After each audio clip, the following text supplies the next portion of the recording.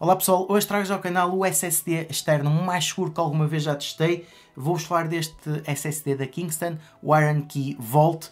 E isto é um SSD para quem está preocupado com a segurança dos seus dados, quer guardar os dados num disco externo, mas quer ter a certeza que se alguém pegar no disco, não consegue aceder aos dados. E isso é a promessa que este SSD nos dá. Ou seja, é uma solução relativamente portátil, ou seja, é maior que outros SSDs externos que eu já testei. Mesmo assim, é uma solução que vocês conseguem levar facilmente para qualquer lado. Isto, em termos de funcionalidade, é, é, muito fácil de utilizar. Como é que funciona? Ele tem uma encriptação de 256 bits e vocês sempre que ligam ao computador têm que colocar uma password no próprio SSD. E isso significa que o SSD tanto funciona em Windows, tanto funciona em Android, em iOS, eh, em macOS, portanto não há um problema do sistema operativo tem que ser um aparelho que consiga ler USB, ou seja, discos USB, a partir do momento em que nós colocamos a nossa password, os ficheiros aparecem. Enquanto nós não colocarmos a password, não nos aparece nada no computador. Em termos práticos, nós temos um pequeno mostrador na parte frontal, em que a primeira coisa que nós fazemos quando ligamos é colocar a nossa password e a partir daí conseguimos fazer algumas configurações. Mas o principal é isto, é sempre que vocês ligam, têm que colocar a password, quando desligam do computador e voltam a ligar, têm que colocar a password. E só depois de colocarem a password é que os dados vos aparecem. Em relação a esta Iron Key que eu tenho aqui comigo, é a versão de 2 teras, ou seja, 1.92 teras, mas eles têm a solução de 512 e de 1 tera, se não me engano. Esta é a solução mais cara. Nunca nos podemos esquecer que isto não é uma solução low cost, seja, se vocês estão à procura de uma solução barata para proteger os vossos dados num disco externo, não será com isto, porque isto tem uma, digamos, uma tecnologia proprietária, tem um, um hardware diferente e faz com que o preço seja proibitivo para muita gente.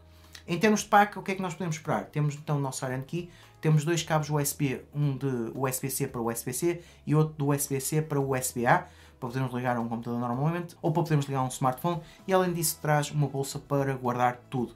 Portanto, eu de uma forma muito simples coloco na bolsa tudo, tenho os meus cabos na parte de fora e tenho o meu SSD pronto para levar com os meus ficheiros de uma forma muito segura. Agora vamos falar da parte principal da segurança, como é, que, como é que realmente isto é feito. Primeira vez que vocês ligam, vocês têm que colocar uma password, em que podem colocar uma password de, de 6 caracteres, de 8 caracteres, vocês depois podem definir o tamanho da password, e além disso pode ser só password numérica ou password com letras também para complicar, para não ser uma coisa muito fácil de cracar. Claro que depois se vocês tiverem um disco deste género, não vão pôr uma password que é password ou não vão pôr uma password que é 1, 2, 3, 4.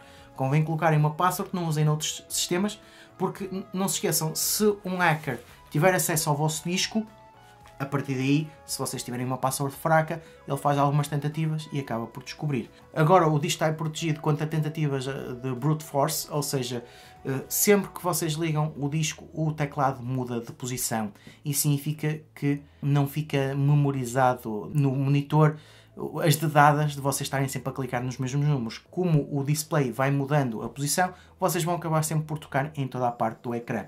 E além disso, ele também está protegido contra o bad USB, ou seja, tentarem ter dispositivos que vocês ligam pelo Type-C diretamente ao disco, que dão energia e depois internamente tentam fazer algum código malicioso para tentar descobrir a vossa password. Claro que isso eu não, não consegui testar, mais para a frente se conseguir eu mostro que realmente não dá, mas aqui o objetivo é mesmo sempre que vocês chegam ao computador, ligam, colocam a, vosso, a vossa password e está pronto para utilizar. Nunca se esqueçam que o elo mais fraco é sempre uma password mais fraca se vocês puserem uma password complexa que não usam noutros sistemas, mesmo que algum hacker tenha acesso uh, ao vosso computador e saiba algumas passwords que vocês utilizam normalmente, como vocês não usam a mesma password neste disco, ele nunca vai conseguir aceder aos vossos cheios que estão no disco. Depois de vocês fazerem um login, vocês podem, por exemplo, definir utilizadores sem serem administradores para, se vocês quiserem emprestar o disco a um amigo, vocês podem dizer, olha, a password é esta, em que vocês vão ao, vão ao, ao, disco e configuram uma password para um utilizador normal e ele só pode utilizar a password para aceder aos ficheiros. Claro que com a password consegue aceder aos ficheiros todos, mas se depois mais tarde vocês não quiserem que ele aceda aos ficheiros, vão, entram com a password do administrador, modificam a password e mesmo que o vosso amigo volte a ter o disco, já não consegue abrir os ficheiros. Portanto, temos sempre esta mais-valia de não termos que partilhar a nossa password de administrador, porque podemos criar um utilizador, digamos, normal, em que depois podemos mudar a password e assim temos a certeza que nunca vão saber a nossa password, nem temos que mudar a password.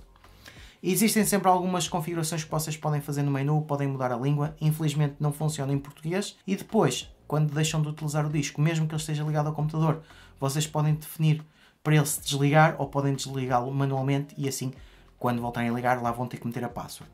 Portanto, sem password, o disco não aparece no, no vosso computador, com a password aparece como se fosse um disco tradicional. Depois, qual é que também a questão importante é para sabermos a, a velocidade de escrita e de leitura. Eles no site indicam que a velocidade de escrita e leitura é 250 MB por segundo.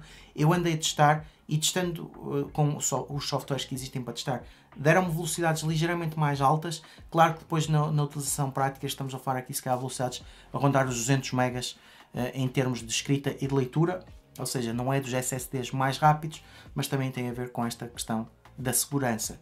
Claro que se a segurança não vos importar, vocês têm SSDs externos eh, muito mais baratos e, e, muito mais rápidos. Portanto, este SSD não é dos mais rápidos, mas é dos mais seguros. Aqui a preocupação é para quem quer ter um SSD que tenha certeza que desligando do computador, mesmo que alguém tenha acesso físico ao SSD, por isso tem de ser sempre uma pessoa com acesso físico, se tentar ligar a outro computador, nunca vai conseguir aceder, a não ser que saiba a vossa password. Em termos de segurança, eu, eu nunca tinha testado um SSD do género.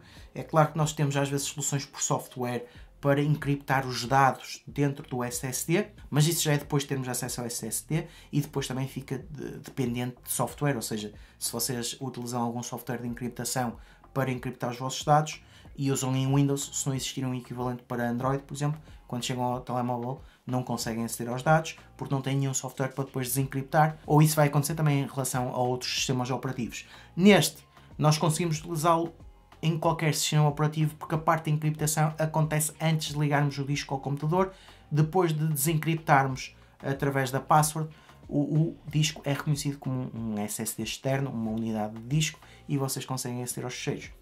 Portanto, o objetivo aqui não é encriptarmos uh, pastas, não é encriptarmos ficheiros, mas sim o SSD por completo. Já sei que esta solução muito possivelmente vai ser mais direcionada se calhar para um setor empresarial, eh, não, não digamos numa empresa muito grande, mas numa empresa se calhar mais familiar, que está a começar e quer ter alguma proteção nos dados que vai guardando num disco externo e para ter certeza que os dados eh, não são extraviados ou não é possível aceder uh, sem saberem a password do disco. Num contexto menos empresarial, só se for para um profissional que lida com dados às vezes que são mais sensíveis, uh, ou quer guardar fotografias, quer guardar vídeos, eh, quer guardar eh, documentos pessoais, coisas pessoais e quer ter a certeza que nunca ninguém vai conseguir aceder. Ou seja, o único momento em que conseguem aceder é quando colocam o password e têm o disco no, no computador. Claro que se o vosso computador uh, tiver alguém que consegue aceder ao computador enquanto o disco está lá ligado, consegue aceder aos ficheiros.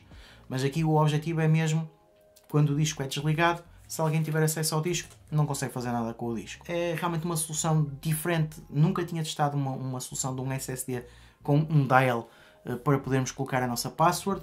Uh, é uma solução fácil de utilizar, fácil de compreender, uh, não tem muito que se, que se diga, tem algumas parametrizações e, claro, é sem dúvida uma solução cara para protegerem os vossos dados.